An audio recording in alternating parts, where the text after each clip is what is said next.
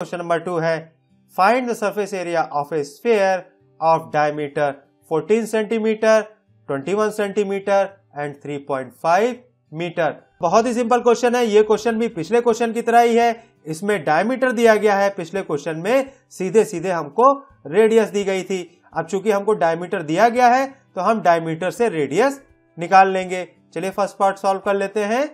Now R is equal to diameter by two and that is equal to fourteen by two and that is equal to seven centimetre and there four surface area of sphere is equal to four pi R square तो ये हो जाएगा four into twenty two by seven R square की जगह पे आ जाएगा seven square अब इसको आपस में मल्टीप्लाई करेंगे तो ये हो जाएगा सेवन इंटू सेवन और सेवन और सेवन आपस में कट जाएगा, और इन सबको आपस में मल्टीप्लाई करने पे आएगा 616 सेंटीमीटर स्क्वायर यही हमारा आंसर हो जाएगा। इस क्वेश्चन का सेकेंड पार्ट और थर्ड पार्ट भी इसी तरीके से सेम इसी मेथड से सॉल्व होगा, जिसमें पहले हम डायमीटर को टू से डिवाइड करके रेडियस निकालेंगे और इस फार्मूले में रेडियस को रखेंगे तो हमें surface area of the sphere मिल जाएगा। ध्यान दीजिए थर्ड पार्ट में जो एरिया आएगा, वो मीटर स्क्वायर में आएगा।